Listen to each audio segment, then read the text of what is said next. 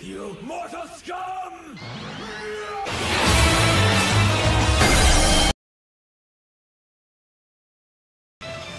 To successfully turn the tables, this is the one strike I need to land. It will confine you to a time prison.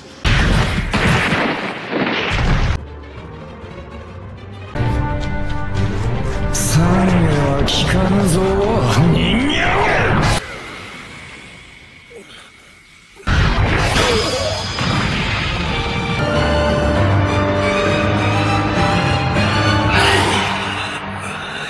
I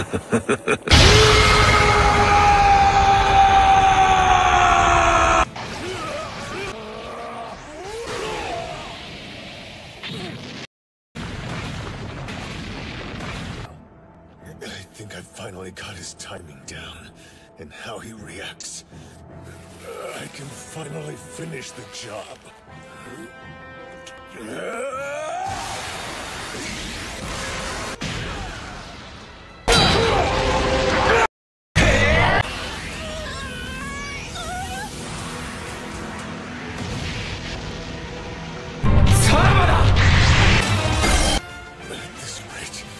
Won't have enough to keep him trapped until the end.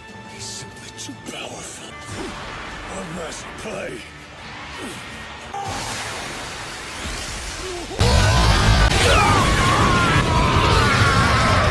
叶う